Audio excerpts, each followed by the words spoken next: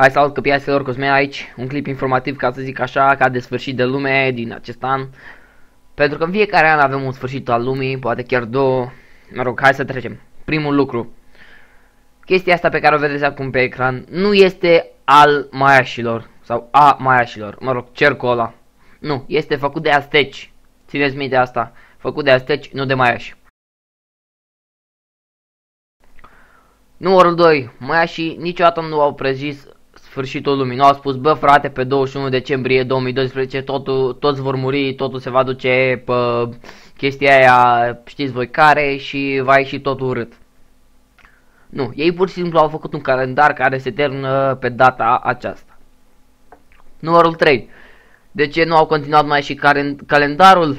Păi, pe 21 decembrie 2012, planetele se aliniază, lucru ce se întâmplă la 26.000 de ani și astfel se încheie o perioadă a acestui univers care, nu știu cum să zic.